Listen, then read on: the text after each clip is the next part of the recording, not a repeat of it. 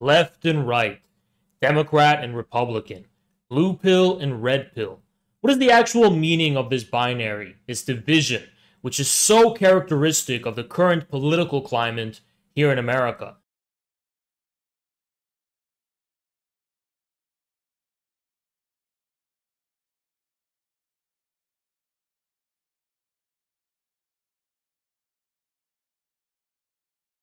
Even extends beyond politics. What it means to be a man or a woman, or even a human being in general, and what it means to have family values, have family values.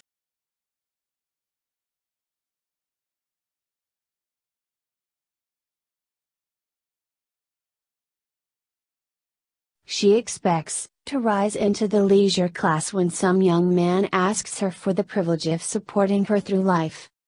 We are making no claim that the lot of millions of housekeeping mothers, married to working men, is more enviable than is the condition of their husbands. We merely wish to point out that millions of women, potentially, actually, or psychologically, are of the leisure class, and that fact and expectation keep women, as a sex, allied to the forces of reaction. Family values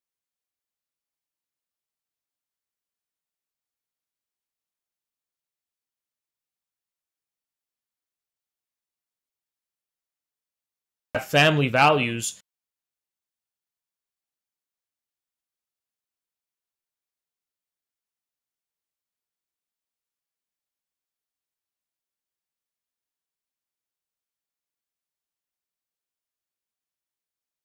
family values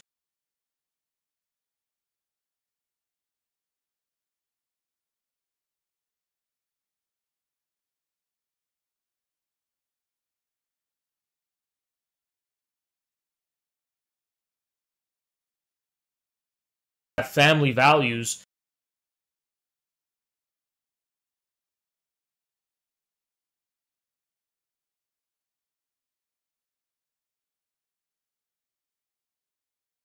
family values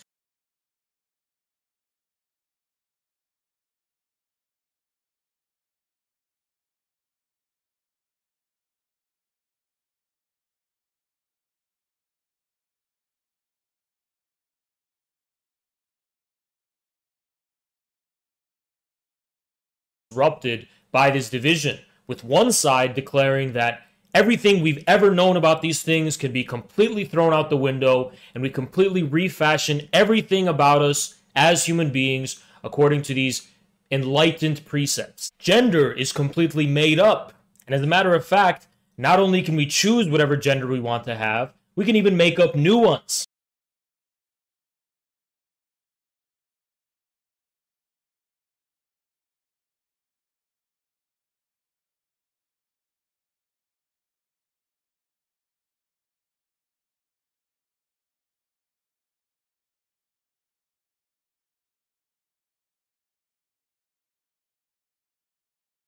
Additionally, everything we've ever known about the relation between the sexes is completely prejudiced and based on patriarchy. And actually, there is no difference between men and women. And men need to become more feminine and they need to get more into their feelings.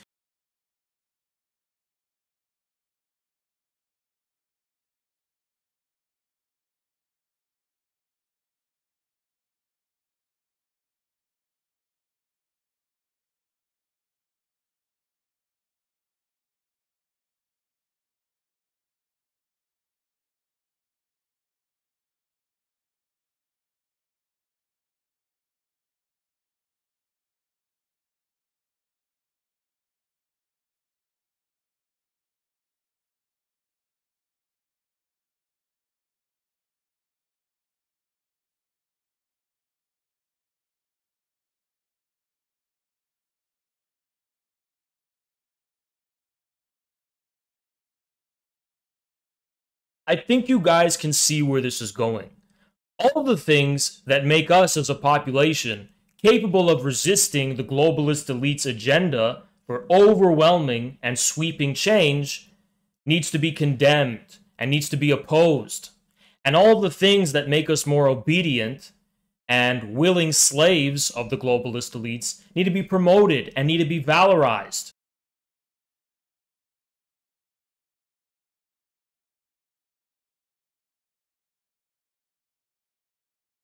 How many male celebrities have you seen come out and just wear dresses in public to the grand applause of the artificial audience and artificial social media the globalist elites have engineered?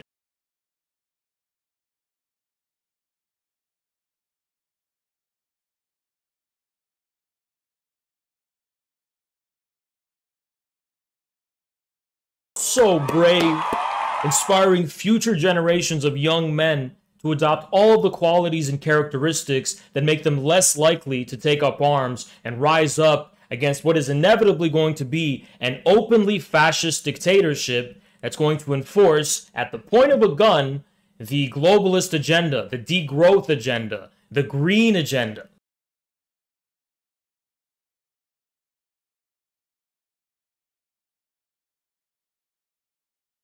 The future will certainly be woke. Won't it? Actually, doesn't seem like it. For some miraculous reason, and despite overwhelming odds to completely brainwash the future generation of men to basically be cuckolds and soy boys and pussies. Of course, you resort to attacking someone for being cucked. Only mentally defective right wing men have an obsession with cucking. You sure like to wear your sexual insecurity on your sleeve. Men have found role models and inspiration in people like Andrew Tate. And the reason I got this t shirt made is because I have a lot of respect for Kony. Now, I know, okay, he's a warlord, whatever, whatever. But Kony is a G. For then Jordan Peterson. I don't want to have anything to do with women. It's like you're a pathetic weasel.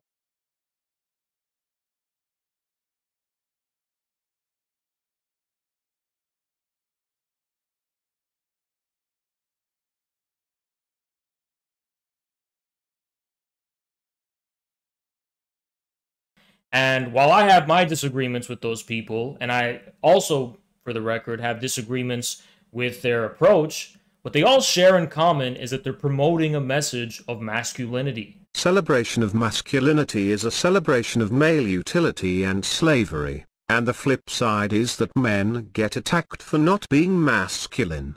Anxiety about male identity is not pro-male, and has nothing to do with men's rights. Men should have equal rights to women, that is all I am concerned about.